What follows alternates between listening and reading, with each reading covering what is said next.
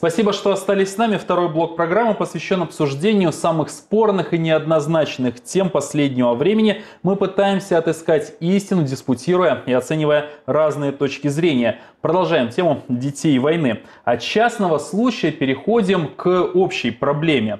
А, дети войны, что это за категория населения, кто в нее входит, какими льготами пользуются дети войны, что делают органы федеральной и региональной власти для улучшения материального положения этой категории населения. Для ответов на эти вопросы мы пригласили в студию Наталью Лунь, заместителя директора Департамента труда и социального развития администрации края. Здравствуйте, Наталья.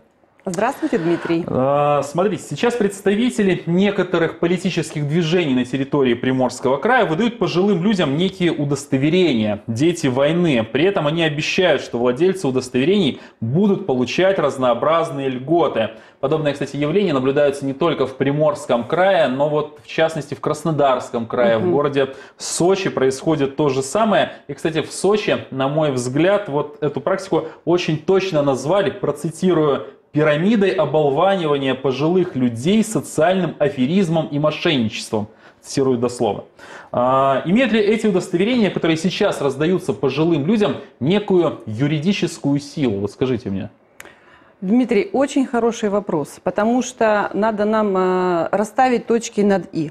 А, общественные организации могут выдавать любые удостоверения, которые могут э, о чем говорить? О том, что этот человек входит в эту организацию. Но никакие удостоверения не дают права ни на какие меры социальной поддержки, льготы, может быть, то, что обещает кто-то, пока оно не будет выдано в соответствии с законодательством. Все удостоверения, э, соответствующие с каким-либо статусом льготным, у нас э, прописаны в федеральном и краевом законодательстве. Все. Угу.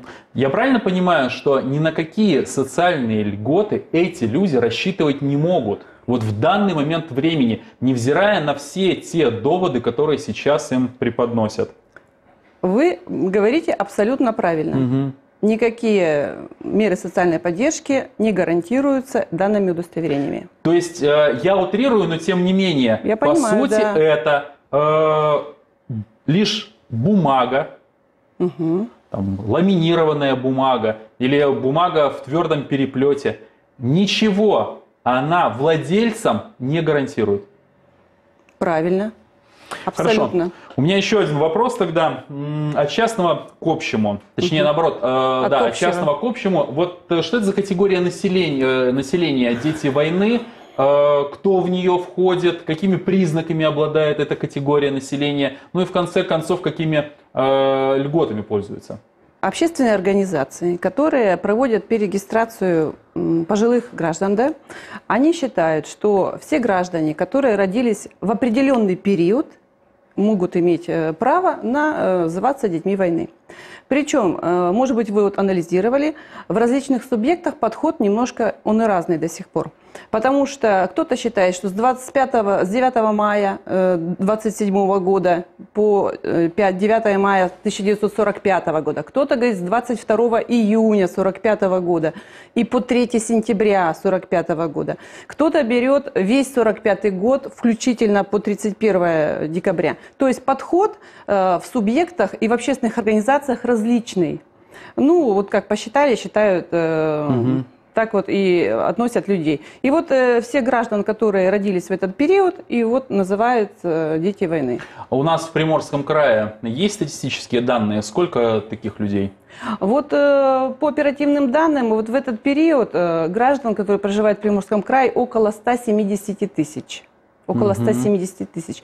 Но мы понимаем, что все законодательство федеральное, оно говорит о том, что если у человека есть уже какой-то другой статус, он может получать меры соцподдержки только по одному статусу. То есть если в 170 тысяч входят граждане-инвалиды, участники войны, ветераны труда, и они уже получают меры социальной поддержки, у них все равно будет право только получать меры, э, если примут, да, по одной выплате, понимаете? Здесь это требование федерального законодательства, и оно Однозначно. Из этих 170 угу. тысяч людей, угу. которые родились вот в этом вот фиксированном промежутке, какое количество людей не получает меры э, социальной поддержки вообще? Ну вот около 140 тысяч, более 140 тысяч получает меры соцподдержки, а около 30 тысяч вот на этот момент еще могут не получать. Я правильно понимаю, что вообще тема, сама тема э, «Дети войны», она муссируется не первый год? Да, вы правы. Причем она возникает, потом как-то немножко утихает, потом опять возникает. Угу. Причем, насколько я понимаю, вот этот всплеск активности и интереса к этой, теме, к этой теме связан лишь с одним событием. Это моя версия, но я готов ее отстаивать.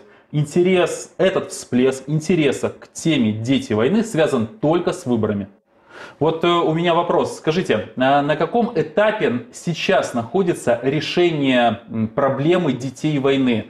Сейчас предпринимаются какие-то попытки со стороны администрации Приморского края, со стороны исполнительной власти для того, чтобы все-таки эту категорию, эту категорию населения наделить какими-то льготами? Конечно, так как все равно вопрос этот волнует многих людей да, пожилого возраста. И, э, скорее всего, назрел э, какое-то такое время, оно поступательно идет, да, что необходимо принимать какие-то решения. И, конечно, э, конечно, это решение должно быть принято на федеральном уровне. Потому что вот даже то, что я говорила, да, и вы сами знаете, различные организации выдают различные какие-то удостоверения. Время, по которому относят период разный у всех. То есть однозначно, что эти люди, они трудились в годы войны, да, работали, они трудились на всей территории страны. А, и должен быть, конечно, федеральный статус этого установлен, скажем, этой категории. И удостоверение должно быть единое. И меры социальной поддержки тоже должны быть единые. Поэтому вот администрация края, губернатор края всегда поддерживает инициативы, которые предлагают внести изменения в федеральное законодательство, чтобы установить именно на федеральном уровне, первое, официальный статус категории данной, установить официально меры социальной поддержки, которые предполагает данный закон. А если есть закон, значит, он должен быть обеспечен деньгами. Соответственно, чтобы и были в бюджете предусмотрены э, средства на эти цели. Угу. И у нас вот, э, я знаю, насколько знаю, губернатором буквально недавно подписано письмо о том, что э, администрация края полностью поддерживает закон, который внесен в Государственную Думу именно по данной категории. Он так и называется, по-моему, «О детях войны». Угу. Проект закона. То есть в данном случае исполнительная власть угу. и э, губернатор Приморского края, в Рио губернатора угу. Приморского края является таким лоббистом детей войны. Конечно. Конечно. Я надеюсь, что закон будет принят в ближайшее время, потому что действительно многие и депутаты угу. Государственной Думы, э, многие главы регионов, угу. представители многих политических партий за этот закон. Да. А, у меня вопрос. Когда этот закон будет принят, а, это первая часть. Угу. Вот. И вообще, какие меры социальной поддержки детям войны там предусмотрены? В данном проекте, который вот был подписан, э, который был направлен, да, угу. письмо с поддержкой, которое угу. было направлено, в нем предусматривается что для всех детей войны э, ежемесячная денежная выплата в размере 1000 рублей, которая предоставляется за счет средств федерального бюджета, то есть она одинаковая на всей территории угу. страны, и обеспечивается, соответственно, федеральными деньгами. И эта выплата предполагается ну, выплачиваться именно пенсионным фондом, потому что это структура, которая э, может выплачивать на всей территории страны. Кроме того, за счет субъекта предполагается меры соцподдержки по проезду, меры соцподдержки по внеочередному там, обеспечению э, в дома-интернаты, ну, еще ряд мер таких э, более мелких. Угу. Основное – вот ежемесячная денежная выплата, которая за счет федерального бюджета. Угу. А когда планируется принятие этого бюджета, э, этого закона? Это зависит от решения Государственной Думы, угу. от их графика и так далее. Еще один вопрос. Понимаете, вот психология пожилых жителей. А, большинство угу. из них, они очень доверчивы. И э, если им говорят, вот вам удостоверение, и вы э, сразу же, буквально там после выборов, чуть ли не на следующий день можете идти и по этому удостоверению получать какие-то деньги или какие-то льготы, они же доверяют этим людям. Вот на мой взгляд, здесь идет такое, знаете, манипулирование, манипулирование пожилыми жителями. Граждане, кто помнит, когда у нас был переход на 2005 году, замена льгот, вот тогда называли как монетизация. Помните? И вот э, в ту пору многие общества тоже делали свои списки и вели там список на автомобили, на жилье, еще там на что-то, на очереди, на телефоны.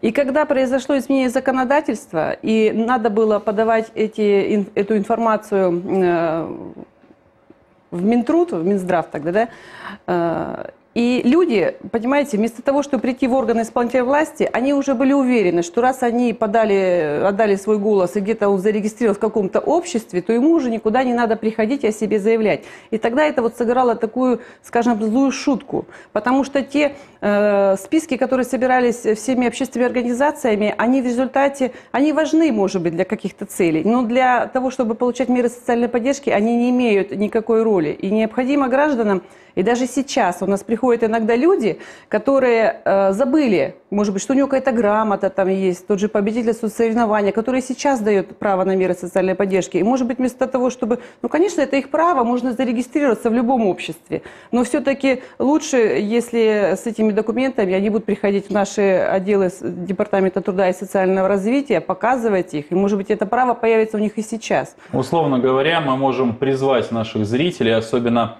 преклонного возраста, чтобы они не шли в общественные организации, а шли в отделение соцзащиты. За мерами социальной поддержки, да, к нам. Угу. Спасибо большое. Я напомню, что у нас в гостях э, была Наталья Лунь, заместитель директора Департамента труда и социального развития администрации края. Моя личная позиция по этому поводу. Вообще дети войны должны пользоваться максимальной поддержкой. Но, на мой взгляд, должен быть принят единый федеральный закон для этой категории населения. И самое главное, должны быть э, четко обозначены источники финансирования этих льгот, потому что я помню ситуацию 10 летней давности, когда во Владивостоке пожилых жителей буквально выбрасывали из автобусов, потому что просто-напросто для этой категории населения не были определены источники финансирования льгот, э, многочисленных льгот, которые были. Так вот, я не хочу повторения этой ситуации, я категорически против этого. Я и против того, чтобы сейчас политики пользовались доверчивостью этой категории населения. На мой взгляд, это просто-напросто подло. Спасибо большое. Наше время подошло к концу. Наш телефон 255 20 12 и 226 63 35. Наш сайт новиков-сталкер.ру. Увидимся на следующей неделе. Всего хорошего.